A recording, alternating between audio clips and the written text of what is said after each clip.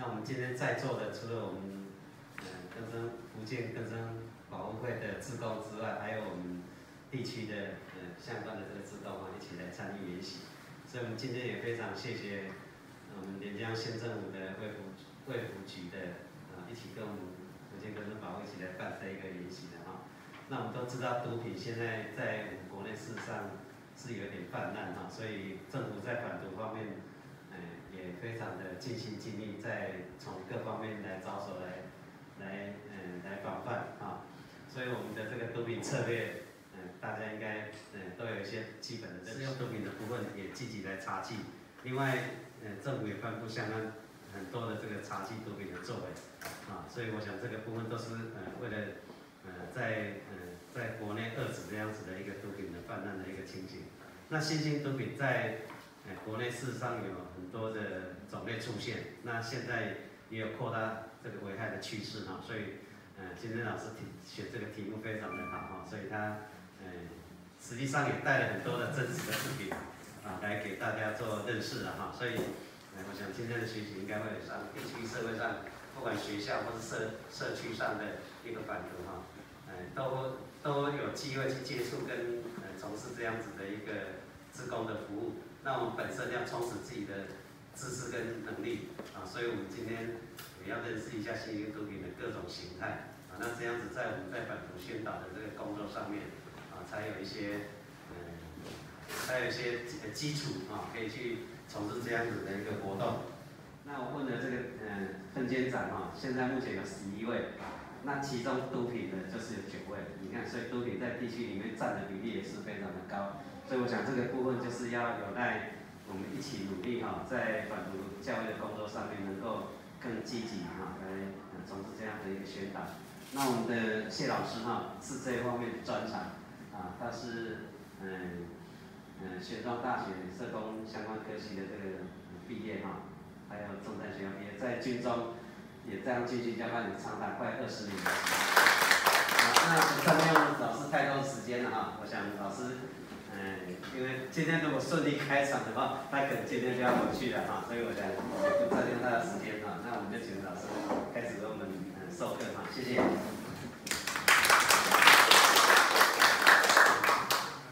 好，这工作也是当成是自己人生的一项事业，所以不论是任何的一个职工进来这一项工作里面，我都觉得我感谢各位一起来为我们，不管是我们的青少年也好，我们的社会也好。大家为这个地方来做一项的工作，所以各位，我再先问一下各位，那各位每天早上起床了之后，你们家的门口会不会想要扫啊扫一扫，弄干净来？会哈。那社会上面针对像这样子不干净的东西，你会不会也想把它清除掉？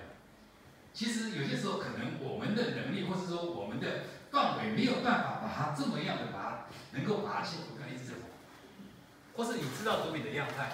毒品啊。嘿，就是呃，那个什么？哎，这就是这样，大家放轻松，放轻松，放轻松。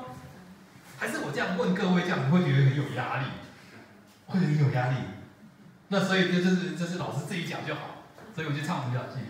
好，所以在以前我们的想法里面，可能毒品就是只有什么东西，海洛因啊，安非他命啊，就是那些细核啊，有些注侠呀，对不对？到处可以捡得到针头啊。对不对，或是说以前我们听到的就是什么在在那个什么 KTV 啊夜店里面就是摇头丸啊那种年代，好，现在不一样的啊，小熊软糖也是，有没有听过小熊软糖？读小熊软糖，有没有听过？嗯，做成仿真品，而且是跟市面上面一模一样的东西，有在出现的，有在网络出现的，我今天都把它做出来了。那待会我们在整个课程里面，我们都可以来讲。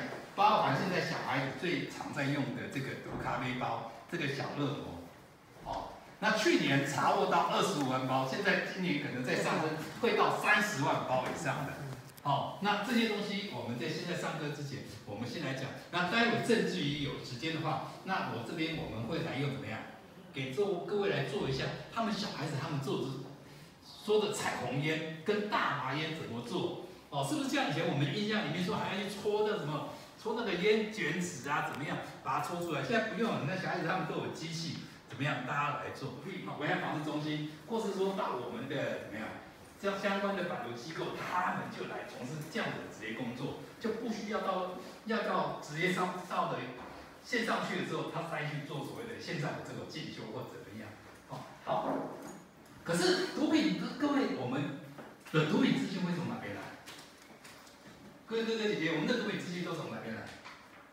正式的消息这一过来，哦，那有些时候会有很多的问题存在啊。那当然，今天我在这个地方啊，一切为孩子，为孩子的一切，为一切的孩子，这个是我们主要想法的。不管是在那边里面的，或者说在现在我们在外面的这些小孩子，我们在外面的小孩子，不要让他到他们里面去，到里面的这些孩子，我们希望他能够怎么样，出来早日的回归到社会，不要再怎么样危害到我们的社会，这是我们的目的跟我们的宗旨。可是，在反在毒品的这一块里面，其实怎么样？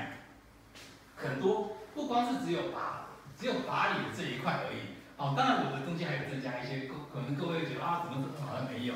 哦，我有些时候我在上课之前，我还在看一下我的这个 PPT，然后我就在自己增加一点。这是他的家庭，对不对？他的朋友，对不对？在我们的社区，所以各位一定会想到，就说为什么很多吸毒的人走不出来？吸毒的人为什么走不出来？父母亲不接纳。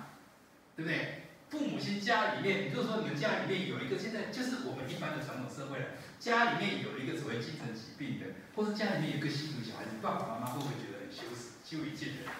大家都住这么近，哎，领导 gay，哎，那就是安内嘛，对不对？所以他会觉得他很羞愧、很难过，所以他不愿把自己的小孩子怎么样放到外面来。那我们现在我们一直都在做什么？说。做现在在所谓的这一块，我们在做所谓的治疗性的社区，让大家摆摊，这样子跟大家在外面前进到社区里面做宣导。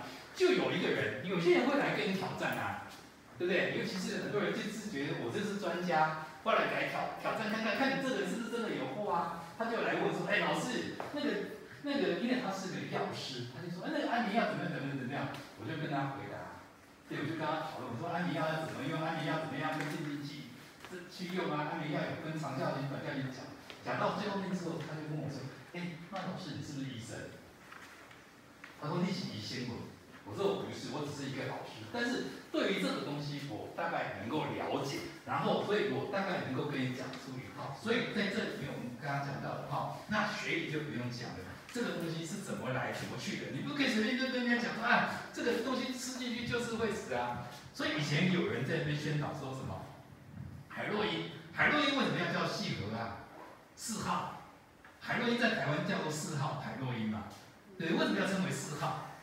曾经就有反毒讲师讲，海洛因它就是很毒啊，吃进去之后就是吃进去就是好像快要死掉啊，所以啊要死掉了，要死掉了，要死掉了，就四号啊，四号啊，四号啊，是不是这样子？而其实不是哦，海洛因为什么称为四号？海洛因它有因为它的毒性，然后因为它当时在怎么样？监管编制的时候，它就编到第四号，所以它叫做四号。那海洛因也会因为它的毒性有一级，二一号、二号、三号、四号，对，有三十二十几卡的、三十几卡的、四十几卡的，到现在有九十几卡的这个海洛因。待会我们都会讲到这个，还是会清醒嘛？他们清醒的时候会不会痛？会，会痛，会挣扎，对不对？所以他，你一般来讲的话，那像所以你刚刚讲啊，我给他睡八个小时，那他起来之后他要在哪里？大概就是放在家里，或是只能在旅社里面吧，汽车旅馆里面，对不对？那如果说我可以把这个药浓缩，让他睡四个小时，我可以在哪边就解决了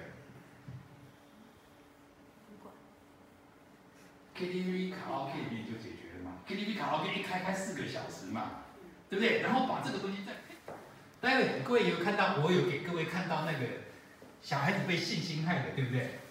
哎，小孩子为什么？小孩子性侵害跟我这个毒品有没有关系？小孩子性侵害跟我这个毒品有没有关系？因为现在的性侵害大部分用的就是怎么样？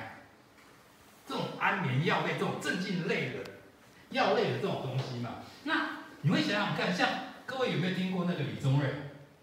哦，李宗瑞哦，李宗瑞的案子来，他性侵多少的女孩子？好多，好多，哦，好多。好多多到多少？